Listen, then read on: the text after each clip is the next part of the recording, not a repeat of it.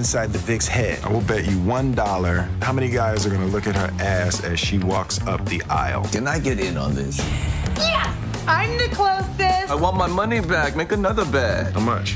1,000. Wow. Okay, 5,000. No, I'm good. I'm good. Oh, too much. Sorry, friend. That's what happens when you play with the big boys.